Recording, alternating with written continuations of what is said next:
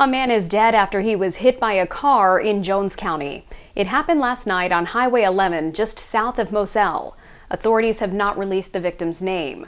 We're told he was walking on the road and struck by a car traveling south. He was pronounced dead on the scene. No word on any arrests. We'll keep you posted as we learn new information.